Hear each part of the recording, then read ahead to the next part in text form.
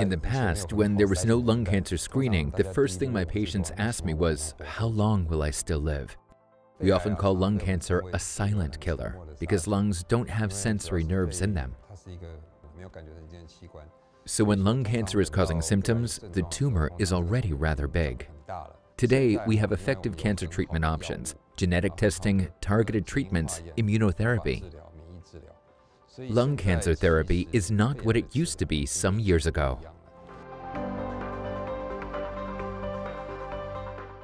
It was during a routine physical checkup when they first discovered a nodule in my right lung. At the time, I was quite worried. After the meeting with Dr. Chao, I felt less worried. He explained to me very patiently why I was suffering from this disease. I told her it's a good thing that we discovered this early. We have powerful tools to help you. We made a personalized treatment plan that was tailored to her situation, and we defined how to remove the tumor. Luckily, we successfully removed the whole tumor as planned. We confirmed that it was a malignant early-stage lung tumor.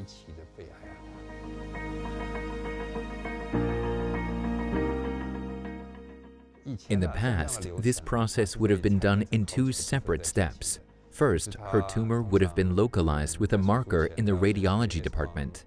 Second, she would have been transferred across the entire hospital to the operating theater. The whole process was actually very complicated and uncomfortable for the patients. Thus, our team wanted to find a better solution. By constantly optimizing the process, we ultimately simplified the sequence to a one-step procedure in the hybrid operation room. I never thought I would suffer from such a disease. Having a major operation on my right lung, the Chang Gung surgery team gave me a lot of confidence, like Dr. Chao, who patiently talked with me. He explained the whole procedure, the preparation which is needed before the surgery, what methods he would use during the operation, and how they would take care of me after the operation so I could return to my normal life.